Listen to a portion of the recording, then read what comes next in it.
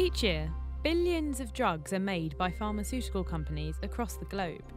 One form they come in are as tablets, where a variety of ingredients are combined with accurate measurement and on a large scale to produce drugs varying from paracetamol and ibuprofen to more specialised drugs fighting cancer or HIV. And their development requires some very precise engineering and a complex combination of ingredients.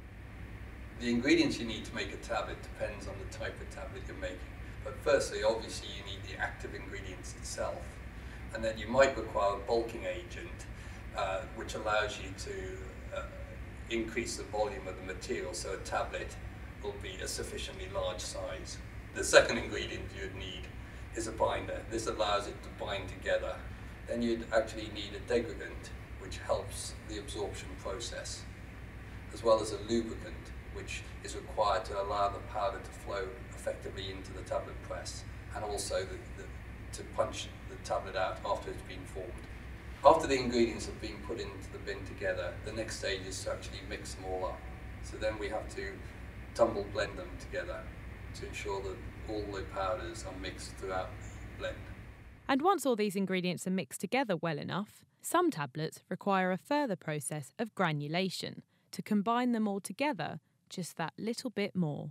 Well, some products require granulation to ensure that uh, the uh, parts all stay together in the same ratio through the process. So the material after the blending stage goes into a granulator, which then forms, uh, with, a, with the help of a binding solution, forms granules. After which those are formed, then they then fall through a milling stage into a fluid bed dryer. This allows us to evaporate the excess water, but not too much water, otherwise it'll turn back into a powder. Once the final formula has been put together, it's time to make the tablet using a tablet press. This is a rotating cylinder of plates, with each plate having a series of holes called dies and two punches, one above and one below each hole. The drug mixture fills each hole, is pressed down and compressed by the top puncher, and then pushed up and popped out of the hole by the puncher below. Each hole is the same size, and by filling each to capacity, the tablets are all then uniform. The number of tablets made depends on the size of these holes, and in some cases, 130,000 can be made every hour. But although they're now made, that's still not the end. Once we've made the tablet, then there is a stage that a lot of tablets go through, which is the coating process. The coating process is very similar to a tumble dryer, where we spray liquid in as we tumble them down, which coats the tablets. Now, there's many reasons why you coat a tablet. One is to actually protect the tablet from the environment. Another reason could be to avoid a bad taste of the tablet itself when the patient uh, swallows them.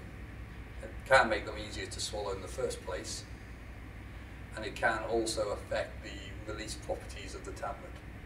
So the tablets are now ready to go with the right mix of active and bulking ingredients, the right consistency, and the relevant coatings to perhaps make them taste better or last longer in our bodies.